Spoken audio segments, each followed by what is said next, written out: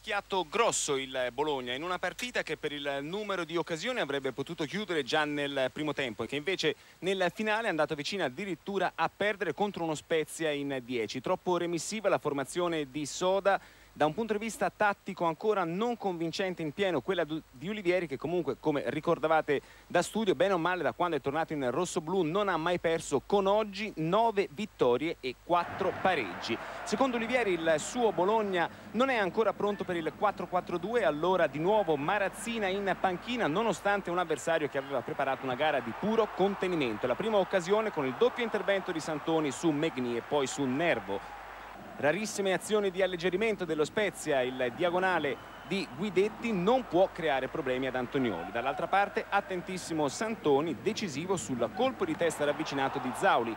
Bologna però lento e senza grandi idee, la palla buona la inventa Mingazzini per Bellucci, stavolta con il piede, la prodezza di Santoni.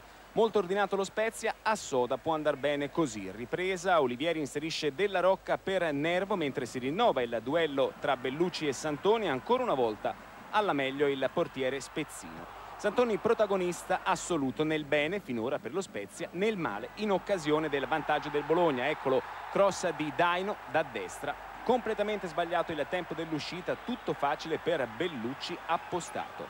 Doppio cambio deciso da Soda, fuori Alessi e Guidetti, dentro Confalone e Dionigi, ma la reazione è solo in questa conclusione dell'ex Frara. Spezia in 10 anche per l'espulsione, doppia munizione di Nicola, fallo su Della Rocca, Bologna incapace però di affondare il colpo, bravo Santoni su Filippini. Nel finale si decide tutto. Al quarantesimo il pareggio dello Spezia, Antonioli non è impeccabile e Barricchio colpisce. Gol a sorpresa perché la squadra di Soda aveva fatto davvero molto molto poco e pensate in pieno recupero, rischia anche il vantaggio sulla traversa il pallonetto di Dionigi in rete invece.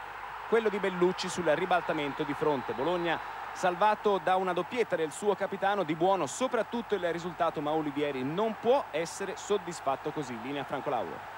Grazie Francesco. E per Pancani i migliori ovviamente Bellucci e Grieco i peggiori Castellini e Alessi l'arbitro Brighi 6 non ci sono episodi eh, da Moviola